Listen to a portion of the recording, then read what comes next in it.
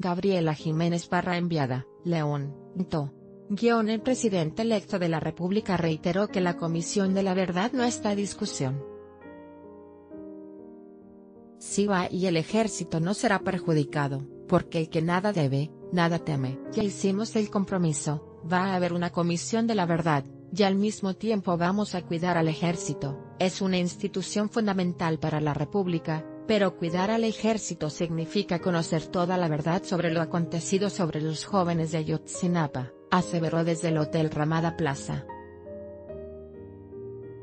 En conferencia de prensa previa a su mitin de agradecimiento, dijo que no se puede cuidar una institución ocultando la verdad sobre el caso de los 43 normalistas desaparecidos de Ayotzinapa.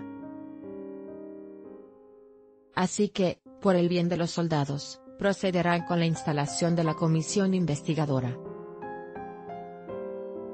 No se cuida al ejército, no se protege una institución, ocultando la verdad y el que nada debe, nada teme. Entonces, si va la comisión de la verdad, prometió. Tras los cuestionamientos de la situación de seguridad en el Estado, insistió en que desplegará un plan de pacificación que atienda la violencia desde sus causas, atendiendo a los jóvenes y erradicando la pobreza. smoke shit.